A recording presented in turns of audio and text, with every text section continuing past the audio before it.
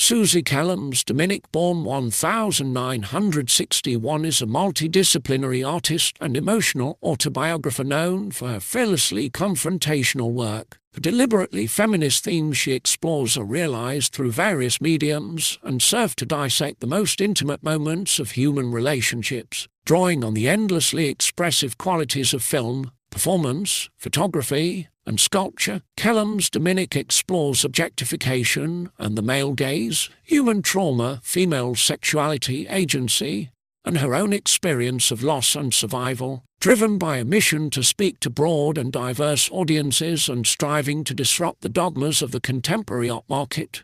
Kellems Dominik's work has been exhibited internationally both within and beyond the white cube space of the traditional art gallery, Kellems Dominik has exhibited solo presentations at One Brooklyn Bridge Park with Cheshire, New York, The Laundry San Francisco, Ludlow House, New York, Onishi Project New York, Lacuna Art Studios Chicago, and at Coup d'Etat San Francisco. Her sculptural installations have been exhibited internationally in collaboration with the Public Hotel Chicago, the Nautilus Hotel Miami, and the Freehand Hotel Miami. Kellems Dominik has further presented her work on the International Art Fair circuit, including with the Armory Show New York, Scope Art Fair Miami, the Tokyo International Art Fair Tokyo, the Affordable Art Fair New York. Her first major public art installation was I Can Feel exhibited during Art Basel Miami Beach 2017. The work is composed of a neon sculpture and choreographed light performance, and Kellems Dominik's largest neon work, Standing at 12 tall, the 27.68 second neon performance illuminates the rising emotion and viscerally glorifies the female orgasm. Kellems Dominik lives and works between San Francisco, California, New York, New York, and Jackson, Wyoming. Prompted by her 50th year of life, Kellems Dominik launched her artistic career with an investigation into conventional definitions of feminism social justice, and individual liberty. Kellems Dominik seeks to encourage the amplification of strong female voices with a focus on self-empowerment, pleasure, and the private made public. Her extensive and varied body of work is underscored by a profound empathy for the vulnerability of the human condition and for the principles that underlie our efforts to connect, communicate, and commune. Kellems Dominik's work is characterized by her diligent research of our culture's visual traditions, societal taboos, religious legacy, and the body of the individual. She often uses her own body to expose rigidly antiquated social constructs and to examine the role of female sensuality and agency in subversion of patriarchal social and aesthetic conventions. I Can Feel is a visually arresting neon sculpture and choreographed light performance Standing at 12 feet tall, the 27 68 second neon performance illuminates with rising emotion and viscerally glorifies the female orgasm in its overt monumentality. Described as a work of emotional autobiography, the sculpture's central feature is a 535 vagina, a number that symbolically represents the artist's height. The viewer basks in an effusive pink and blue neon glow as the choreography elicits the warmth of human touch and the vindication of emotional redemption. The title of the work describes a self-affirmation, a personal breakthrough experienced in the wake of a mourned relationship,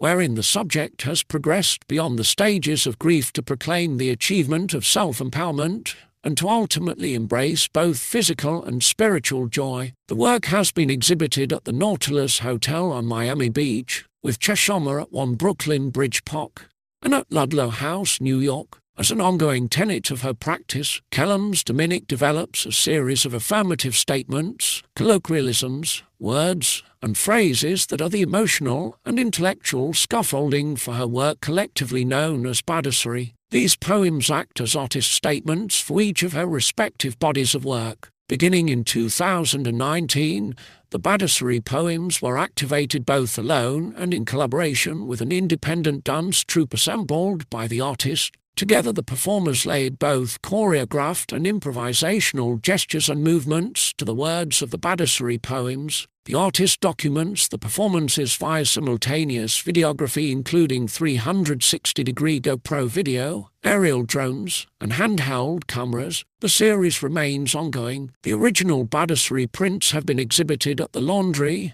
San Francisco in 2019, with the Tokyo International Art Fair in May 2015, and at the Affordable Art Fair New York in 2014, the new body of Badassery poems have been activated with independent dancers, including with the Full Stop Dance Troupe as part of the artist's solo exhibition. In spring 2019, a preview of the new performance series was presented for the SF MoMA Spring Fling in association with their Modern Art Council patron group. You Are Dead to Me is an ongoing project exploring ritualistic grief. The undertaking emerged as an outgrowth of the artist's personal relationship to the process of mourning. The project is physically located in Jackson Hole, Wyoming and entails the methodical collection and numbering of 7,368 stones collected from the surrounding landscape. Stones of various size and weight were first hand-numbered by the artist in white Japanese ink and then placed strategically in numerical order in the form of an orderly grid. Following this months-long process, the artist constructed a rudimentary assemblage of PVC and V-struts to transport the stones across an active estuary to a small spit in the middle of the river. The artist arranged the stones in the form of a primitive tomb with a ceremonial promenade leading to the pinnacle of the grave, exposed to the elements of the seasons and submerged beneath feet of snow. The work withstood for months before resurfacing below the spring runoff. Subjected to the velocity of the river's undercurrent, the grave was inevitably overtaken, destabilized, and reconfigured. The artist remains in the midst of recovering the stones that comprised the original formation. In August of this year, the artist endeavored to return to the artwork site to excavate the stones now distributed across the riverbed. A number have been recovered, many of which remain rooted in their original foundational location yet many have yet to be rediscovered. The project is ongoing, yet already there emerges an understanding that while time may affect the surface,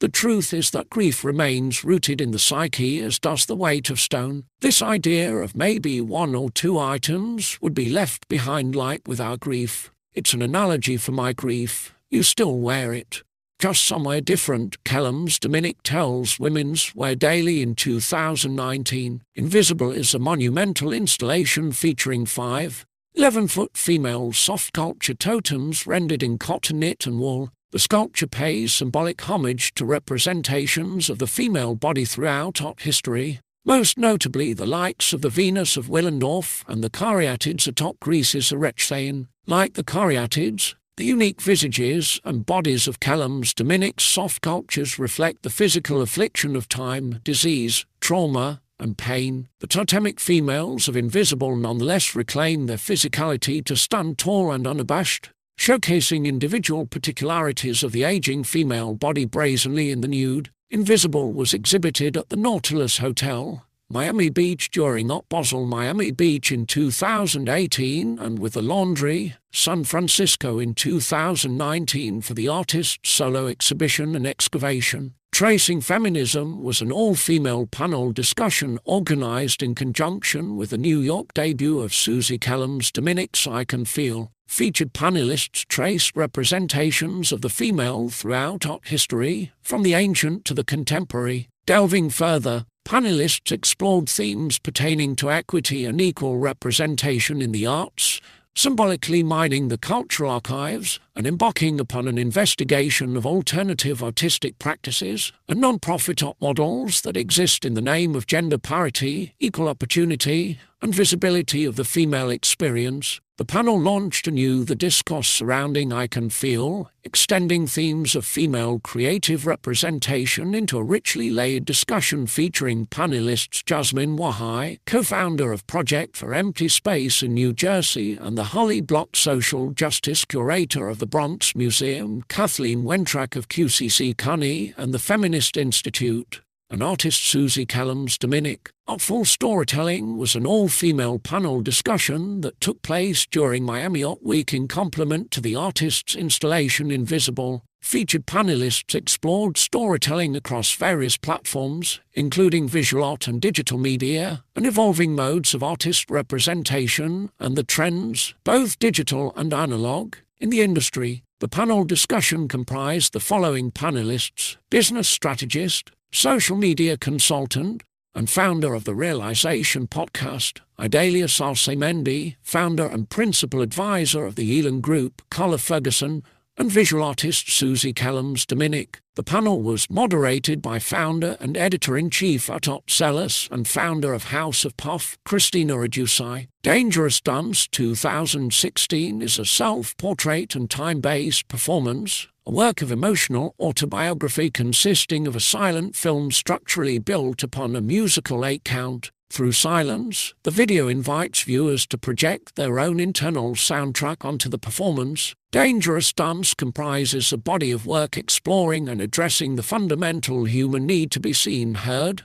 and valued in celebration of individuality. The short film draws inspiration from the esteemed choreographer Mark Morris, whose unbridled interpretation of what dance can be is embodied by Kellems Dominik and her collaborators. Dangerous Dance was exhibited at Coup d'Etat San Francisco in 2016, and a limited edition set of film stills with the accompanying video were donated to the Watermill Center Summer Benefit in 2019 as part of their benefit auction held in collaboration with Artsy. Beatrice to Hell and Back is a multimedia, multidisciplinary contemporary reimagination of Dante Alighieri's Divine Comedy and La Vita Nuova 1295 encapsulating the bitter irony of virtue and vice, rendered from the female perspective. The installation takes as its subject the moment in 1295 when Dante defines Beatrice as beatific, not because of who she is, but how she mirrors how he feels about himself. The artwork proceeds to retell the narrative from the point of view of Beatrice, a central character who acts as a foil for the vices exemplified by Dante's host of characters in the Inferno. The jumping off point is the famous quote, Abandon all hope, ye who enter here. The exhibition centerpiece is a gilded sculptural goat.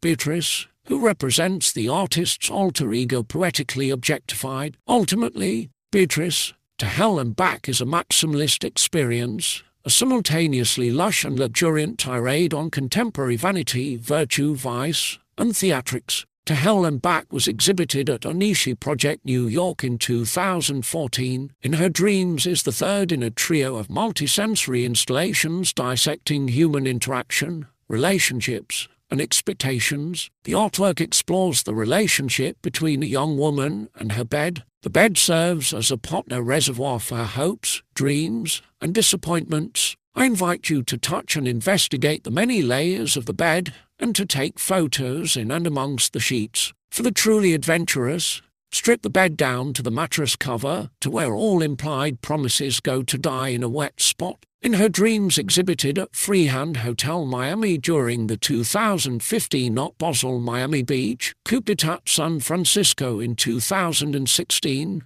and at Elephant Paname in Paris through Condesigny curated by Prada architect Robert Baciocchi in 2018, an early incarnation of Kellems Dominik's signature Badassery series, Hateful Love communicates the polarity of love through striking text and soft, delicate imagery. Hateful Love exhibited at Scope Art Show during the 2015 Not Basel Miami Beach. Box of Sin is the first work in a series of micro installations exploring the seven deadly sins. The project integrates sculpture, multimedia photographic images, the written word, and a layered soundtrack produced in collaboration with Coup d'Etat San Francisco 2014. In 2014, Kellems Dominik celebrated her first gallery exhibition with a body of work entitled Bear Attack, the first in a trio of multisensory installations exploring the interpersonal relationships between men and women. The show combined a large-scale photographic triptych, the written word, a multi-layered soundtrack video taxidermy, and a cabinet of curiosities. The artwork was inspired by a sign seen in a national park. Be alert, make noise, carry bear spray, avoid hiking alone, do not run. Kellems Dominik found direct parallels to rape culture and the experience of being a woman.